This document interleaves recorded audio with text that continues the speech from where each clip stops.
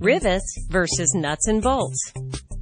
Many experienced installers prefer to use rivets instead of nuts and bolts to assemble locker body parts because they find it faster and more efficient on large projects.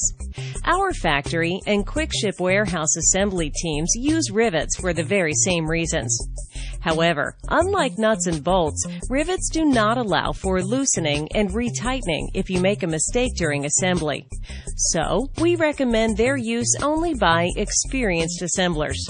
A custom size and type of rivet made just for locker assembly is available from Penco for those applications.